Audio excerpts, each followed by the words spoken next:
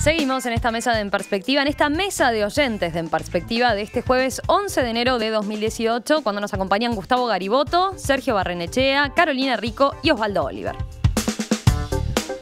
Bueno, vamos al segundo tema que teníamos planteado para hoy. La violación es un crimen, pero la seducción insistente o torpe no es un delito, ni la galantería una agresión machista. La afirmación forma parte del manifiesto firmado por un centenar de artistas e intelectuales francesas publicado en el diario Le Monde, entre las que se encuentra la actriz Catherine Deneuve, entre varias otras mujeres famosas. En la publicación, las mujeres critican la justicia expeditiva de la campaña Me Too, el movimiento que se transformó en tendencia en redes sociales para denunciar casos de acoso sexual tras el caso del productor Harvey Weinstein. Y además, apuntan a cuestionar el puritanismo que convierte a la mujer, dicen, en víctima eterna. Según las artistas, la campaña Me Too ha conducido a una ola de acusaciones públicas de individuos que, sin haber tenido la posibilidad ni de responder ni de defenderse, se les ha situado al mismo nivel que los delincuentes sexuales. Bueno, ¿cómo vieron esta noticia de los últimos días de este movimiento de mujeres en Francia que ha recibido ya además varias críticas de los movimientos feministas? A ver, Carolina, vamos contigo. Eh, por de pronto voy a decir algo que capaz que choca, pero enhorabuena, porque ¿qué? hace que se hable más del tema. Y cuanto más hablemos del tema, más posibilidades tenemos de empezar a corregir y a solucionar. Y cuando digo tema, no solamente me refiero a al acoso sexual, sino también al abuso infantil. Eh, esto ha hecho que muchas mujeres que hace 20, 30, 40, 50 años eh, fueron abusadas, eh, hoy puedan hablar y sacarse ese peso de adentro y muchas, en, en ciertos casos, como yo he sentido, hablar de que cuando eran niñas y estaban siendo abusadas, fueron a decirle a su mamá y su mamá les dijo, esto, de esto en esta familia no se habla o tú siempre fuiste muy fantasiosa o algo habrás hecho para que... Entonces, ¿y por qué incluyo esto? Porque creo que todas esas niñas que tuvieron que sufrir estos abusos, lo tuvieron que vivir en función de las respuestas que tuvieron, en el caso de que lo pudieron contar, como algo que era natural y entonces fueron el campo fértil para después ser víctimas del acoso laboral. Y creo que no es solo un tema de feminismo y de machismo o de estoy a favor de o en contra de, sino que es un tema de la mujer, de la mujer y que por suerte esto ha hecho que hay hombres, como dijo un actor este, a propósito de todo este tema, no me acuerdo el nombre ahora, que por suerte él ahora a raíz de esto puede reflexionar de que él nunca tuvo que ir a una entrevista laboral temiendo por su seguridad, lo que no así le pasa a las mujeres. Entonces, bueno, qué suerte que se habla de todo esto. Y las contradicciones que hay a propósito de esto, porque, por ejemplo, la revista Time sacó como personaje del año a mujeres al movimiento. Al movimiento, ¿verdad? Sí. A todas estas mujeres que se, animaron a, hablar. Y el año pasado el hombre del año fue Donald Trump, una de las personas que más denuncia tiene por abuso y acoso sexual que se ha permitido decir que un hombre con, con poder puede hacer lo que prácticamente quiera con una mujer. Entonces, cuánta contradicción que hay, ¿no? Pero lo ves como que eh, se amplía la, discusión. se amplía la discusión y yo creo que se amplía la discusión y creo que lo favorece. y creo que, lo favorece. Y creo que lo favorece. A ver, otros, Osvaldo. Sí, eh, a mí me parece bien que el tema se ponga sobre la mesa y que aquellas personas que están involucradas en esos acontecimientos, en esos sucesos tan tristes, puedan denunciarlos. Ahora, eh, me parece que todo tiene que tener su, justa medida, ¿no? Porque justamente con la proliferación de las redes sociales podemos caer en la tentación de poner en la palestra a personas que, como bien se dice en una parte del material que nos han proporcionado, no tienen la posibilidad de dar su versión o de defenderse ¿Por o qué no? Bueno, aparentemente y de acuerdo con lo que se dice, proliferan más las denuncias que las manifestaciones de defensa. Ahora surge en Francia este movimiento que como que está poniendo también la otra parte sobre la mesa. A la otra parte, ¿no? Y no solamente darle garantía, sino como yo lo tomo como un aviso. Ojo, no abusen de la herramienta. Está bien que se diga que una mujer no puede ser acosada laboralmente, porque yo creo que la cuestión venía principalmente por ese lado, y, pero de allí a que se entienda que eso es una actitud generalizada, pareciera que por mencionar casos aislados, todos los hombres caerían en la misma bolsa y ese es el peligro, que al final terminan poniendo a la mujer en un papel de víctima que si bien lo tienen en algún caso puntual, tal vez no sea esa la, generalidad. Creo que viene por ese lado el llamado de atención de este grupo de mujeres que, reaccionaron, pero es opinable. Sergio. Mm, Comparto bastante lo, que dijeron. Eh, yo no soy machista, todo lo contrario. Soy más feminista que machista. Pero no como la, muchas mujeres lo han tomado en los últimos años, digamos. Casi todos estos movimientos nuevos, eh, las mujeres de negro, los transexuales, homosexuales, cuota de género, me parece que eh, se está exagerando un poco la cosa. Eh, no es tanto como se dice ni tan poco como parecía. Las denuncias eh, a raíz de las cuales surgieron estos, estos movimientos tienen no muchos, muchísimos años. O sea que ahí hubo gente que se cayó, que no dijo absolutamente nada y que hasta ahora de golpe aparecen todas las denuncias y yo no sé si muchos no se suben al carro y bueno, ya que estamos, porque no son cosas muy, o todas muy demostrables. Entonces hay que poner un punto medio, que creo que la primera favorecida en ponerle un punto medio es la mujer misma. Porque si no decir, ah, otra vez, otra más, otra más que viene con la denuncia. No, y no es otra más, es una denuncia, tomarla en cuenta, analízala, estudiala y, y ve cómo es la cosa y lo de los niños también, que me parece mucho más grave eso. Pero todos estos movimientos exageraron su participación, su floración de tal manera que saturaron. ¿ah? Entonces ya no te toman tan en serio. Ahora resulta, eh, te vas a presentar un trabajo. Ah, no, pero sos mujer, no tenés chance. No, ¿por qué no tenés chance? El mismo movimiento feminista lleva a que muchos digan, no, no tenés chance. No, ¿cómo no tenés chance? Tenés capacidad, no me importa tu sexo, capacidad. Entonces vas a competir. También hay mujeres que provocan situaciones. Ojo, esto es un poco como lo que te dije recién, que hay periodistas que llevan, ojo que no toda la culpa es del hombre, y aclaro por las dudas, yo no soy machista, pero no siempre la culpa es de los hombres. a ver, Carolina. No, iba, iba a leer un pasaje de, parte del, manifiesto, ¿no? Que firmaron las mujeres francesas, donde, bueno, hay algunas que han considerado que, el movimiento feminista se ha vuelto totalitario, ¿verdad? en acallar otros puntos de vista. Y, hay algunas de las cosas que plantean es, las firmantes aseguran que las denuncias registradas en las redes sociales se asimilan a una campaña de delaciones y acusaciones públicas hacia individuos que a los que no se los deja la posibilidad de responder o eh, de defenderse. Esta justicia expeditiva, dicen ellas, ya tiene sus víctimas, hombres sancionados en el ejercicio de su oficio, obligados a dimitir por haber tocado una rodilla, intentado dar un beso, hablado de cosas íntimas en una cena profesional o enviado un mensaje con connotaciones sexuales una mujer que no sentía una atracción recíproca. Esto es parte de lo que dicen en la, en la columna. También advierten, advierten de el regreso de una moral victoriana oculta bajo esta fiebre por enviar a los cerdos al matadero, que es el hashtag francés del movimiento MeToo, ¿no? Su similitud, que no beneficiaría la emancipación de las mujeres, sino que la estaría, estaría al servicio de los intereses de los enemigos de la libertad sexual, como los extremistas religiosos. Yo creo, este, de estas 100 mujeres francesas, excepto Catherine Deneuve, creo que a las demás 99, me incluyo, no las conocemos. Yo por lo menos... Por estos lares no. No las conocemos. Sin duda.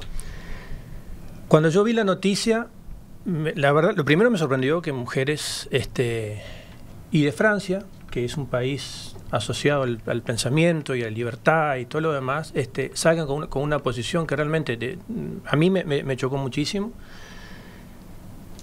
Ese manifiesto, esa tribuna, como dicen ellos, sale un 9 de enero, 110 años después del nacimiento de Simone de Beauvoir, feminista, filósofa, pensadora, que si algo no era, era puritana. Partidaria del aborto, nada más. Partidaria del aborto, este, bisexual por lo menos, este, relaciones con, sus alumnas. si, hay algo que no era, era este, puritana. Y una feminista, cuando ser feminista era muy difícil. Que incluso hoy es muy difícil ser feminista. Y yo estoy este, yendo a lo terrenal, que era un poco lo que tú, Osvaldo, comentabas, que, que, era, que esto sirviera como punto de partida. Yo creo realmente, y no por el hecho de que tenga cuatro hijas mujeres, pero creo realmente que la situación de la mujer es tremendamente difícil. Saquemos el acoso, la violación, el abuso violento, saquemos todo eso en el día a día, sin llegar sí, a donde ahí, en esos casos ellas también coinciden, ¿no? el, abuso y la violación es hay muy fácil. Cuando uno pone las cosas en blanco sobre eh, negro. Eso hay que aclararlo, ¿no? Porque capaz que no quedó el énfasis ahí. ellas dicen eso sí, el delito sí. el problema es que es lo que consideran que sea abuso. Ahí, está. No quiero interrumpirte, pero, no pueden banalizar un toque de rodilla, el intento de un beso. Yo voy a eso. eso es banalizar lo que es el acoso. Hay, hay este cuando es delito y es demostrable, además muchas de estas cosas suceden en la intimidad, con lo cual, como este, decías tú, lo, complica. Este, pero creo que no hay que quedarse en la anécdota de, ah, esta mujer, este, esta provocó. hay que ir a, la, gran figura. Y la gran figura es que es tremendamente difícil ser mujer, tremendamente difícil. Eh, yo tengo hijas de 30 años a 13 y realmente salir a la, sin llegar, repito, ¿no? sin llegar al extremo de lo denunciable, ¿no? pero tener que pensar, acá tengo que cruzar, este, acá me va a pasar algo. Es las cosas esas mínimas, ¿no? cosas chicas para el mundo, pero grandes para mí, que van cambiando el, día a día. Y Simón de Beauvoir decía una cosa este, que la retomo justamente porque lo de estas, la atrocidad que escribieron estas mujeres francesas, este, mujer no se nace, se hace. Y ser mujer es una construcción social y la construcción social que le damos a la mujer este, está mucho más cerca de un objeto y no por lo que tú dijiste, pero cuando uno dice yo no soy este, machista, es, me hace acordar cuando uno dice este, yo no soy racista o yo no soy. No lo soy, pero lo somos. Y somos machistas, somos racistas, tenemos eso incluido y a la mujer le damos en los hechos un rol. Y esta discusión que sí estoy de acuerdo que ayuda porque pone, pone el tema, también termina generando algo de trincheras, entonces sale, ah, viste, estas feminazis, ¿no? Como se habla, entonces, todas esas cosas que no contribuyen Pero ya estaba, ¿no? Eh, sí, ya, viene de hace tiempo, ¿no? los dos bandos. De, de los dos bandos. Lo cual no quiere decir que, entre las feministas no haya también excesos como lo hay, pero digamos, yo lo que propongo es no quedarnos en la anécdota de la feminista que tiene una piedra o escribe en una iglesia. Digo, miremos la situación de la mujer. Eh, bueno, es espantoso. Es un tema de mujer. eso es lo que yo quiero referir. Eh, estaba mirando otro, otro de los pasajes. Eh, apuntan ellas, por ejemplo, las, las eh, mujeres francesas que, que se que escribieron este manifiesto, bueno, apuntan a y hacen una advertencia sobre las repercusiones que este nuevo clima que se ha generado, promovido por los movimientos feministas, podría tener en la producción cultural. Dicen, algunos editores nos han pedido que hagamos a nuestros personajes masculinos menos sexistas, que hablemos de sexualidad y amor con menos desmesura o que convirtamos los traumas padecidos por los personajes femeninos en más explícitos. Estas son algunas de las cosas que eh, denuncian, oponiéndose también a una reciente censura, por ejemplo, de un desnudo en, el metro, ¿no?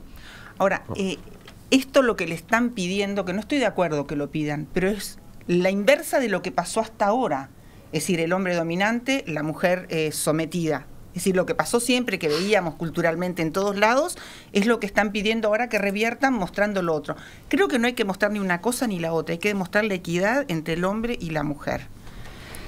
Y, a propósito de todo lo que dicen en este manifiesto, creo que hay una, lo dije en, en otro momento, hay una banalización de las cosas.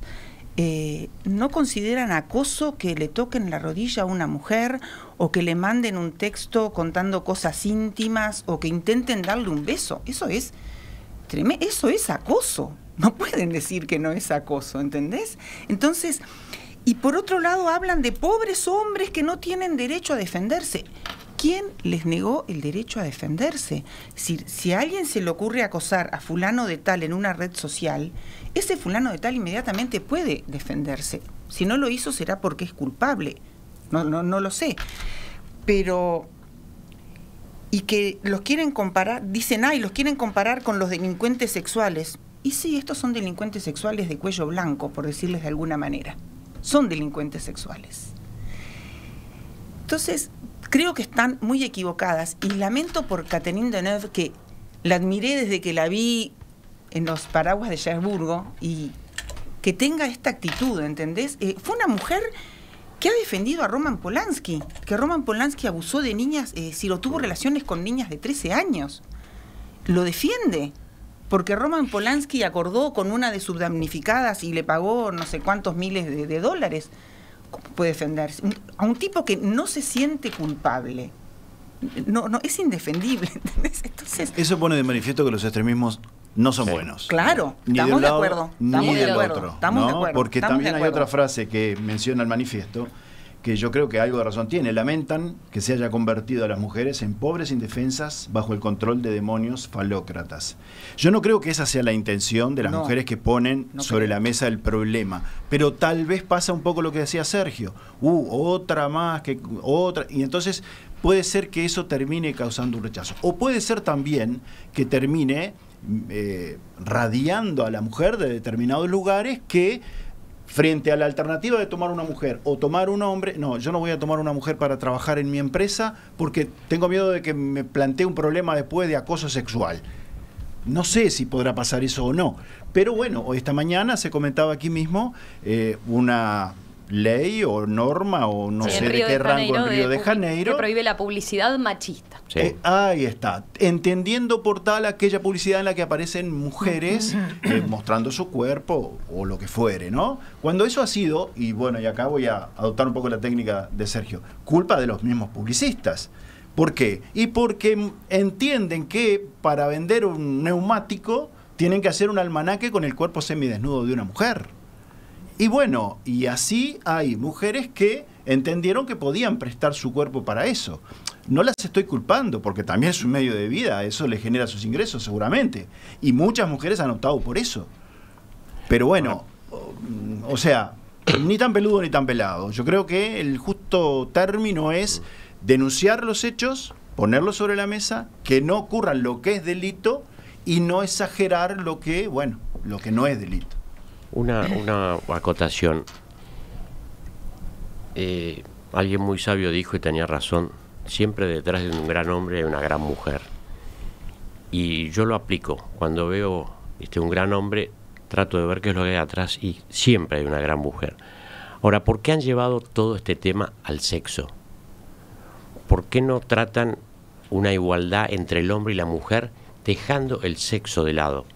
La parte sexual de lado, a eso me refiero. Porque también existe el problema de que hay ciertas mujeres que no acceden a algunos lugares solamente por el hecho de ser mujer. Ni siquiera le han tomado una prueba de capacidad. Yo, por ejemplo, no estoy de acuerdo con las cuotas políticas, ni políticas ni de donde sea, cada, cada tres, uno, no, no. Cada tres, uno no. O sea, esta es la prueba, hay que rendirla. Y punto. Eso me hacían a mí en la escuela. Eh, no, no es ¿Quién es el primero de la clase? El que tiene las mejores notas. Y el último, el que tiene las peores notas. Bueno, esto es lo mismo ahora. Me parece que el movimiento feminista acá llevó todo a la parte sexual. Que el acoso sexual, que la violación. Capaz sobre todo estás pensando en el movimiento Me Too, ¿no? Porque a- Sí, acá sí, se escuchó sí. mucho en, no sé, en las manifestaciones pero- de los movimientos feministas también, la eh, lucha por la igualdad y Claro, mejorar pero- las pero la condiciones de lucha- acceso a determinadas cosas de la mujer, Sí. por ejemplo, el- igualdad de- en temas laborales, Bueno, acá, igualdad se de planteó, salario. acá se planteó en esta mesa, en una confrontación entre Teresa Herrera Mm. y Onís Artú. Onís. Y bueno, y yo creo que allí quedó de manifiesto un poco que hay algunas cosas que se exageran, que no son tales, como por ejemplo las diferencias laborales. que Ovenir contestó muy bien desde su posición de experto laboral. Para mí contestó muy mal. Pero Es falso lo que dijo. Pero sin embargo, mi opinión. bueno, pero sin embargo, él se basa en los convenios laborales, se basa en las normas que se aplican a los funcionarios públicos y yo no sé si es tan falso que a igual tarea exista diferente remuneración. Es así. Es así. A igual tarea hay diferente remuneración. Eso no debería ser así. Y hay, No debería, y hay no debería, no y hay. Hay diferentes formas de chance de, vivirlo. acceso a ese, a ese Bueno, a pero lugar. entramos en el plano que plantea Sergio, en la cuota política. Por ejemplo, por poner algo Sí. que él mencionó, tuvieron que aprobar una ley para decir, no, un tercio de las integraciones de las listas tienen que ser mujeres. ¿Y por qué? Yo no estoy de acuerdo.